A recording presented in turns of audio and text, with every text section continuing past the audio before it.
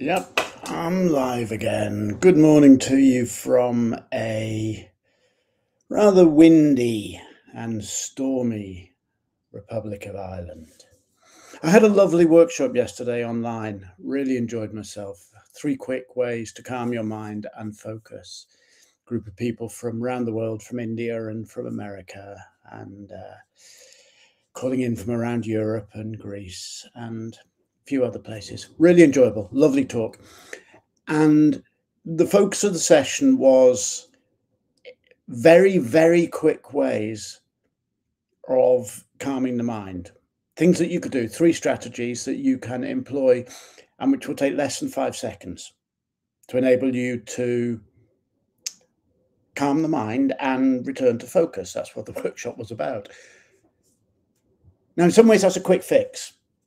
Uh, quick fixes are great when you need a quick fix. Problem with quick fixes is that they tend to uh, fix the symptoms of a problem, but not necessarily the causes of a problem. Doesn't mean they're not useful, they're very useful, but they need to be used in uh, association with or alongside medium term fixes and long term fixes and you know what medium term and long term means to you is up to you. But for me a short term fix is something that can take about five seconds and go oh sort this out now. There's something i need to sort out. I'm a little bit confused or whatever.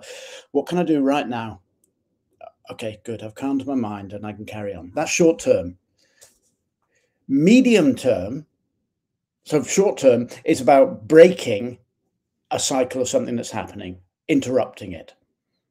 Medium term is about changing habitual thinking. For me, the main medium term process I engage in now is a regular practice of Qigong. For other people, it might be yoga, or it might be long distance running, or it might be a practice of going and gardening, or you know, hugging trees, or volunteering for a local community group, whatever, something that moves you away and habituates you, habituates you away from negative thought or destructive thought or self undermining thinking. That's sort of medium term work. Long term work for me is conceptual.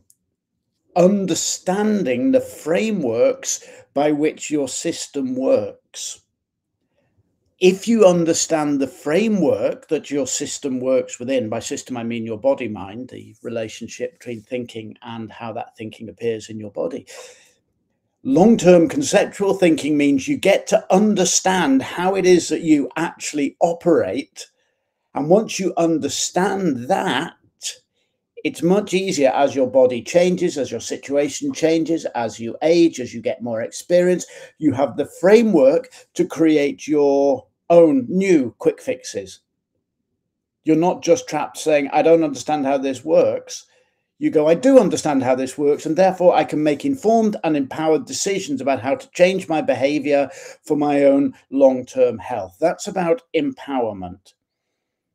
Short term fixes are about interrupting a cycle. Medium term fixes are about creating more healthy cycles. Long term fixes are about understanding how the whole damn thing works. Yesterday, we worked just on the short term fixes. It was really enjoyable. That training will be available soonish as a standalone training for people to uh, to access. When I'm coaching people, then often we are working on the long term fixes or the long term developments.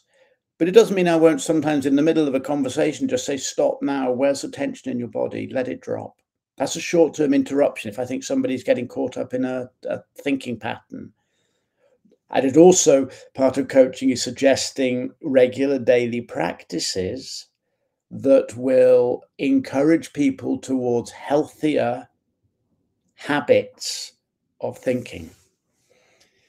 So, as we start this week, I hope it's slightly less stormy for you than it is for me. What are your immediate go to short term fixes? What are you doing to rehabituate your thinking in the medium term?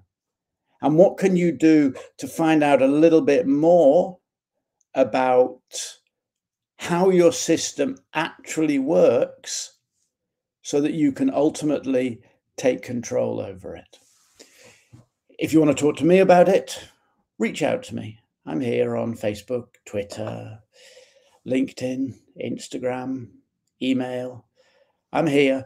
Connect with me if you want to. You can't be my friend on Facebook, I'm afraid. Facebook only lets me have 5,000 friends and I've got them. So sorry, but you can connect with my Facebook page or whatever else.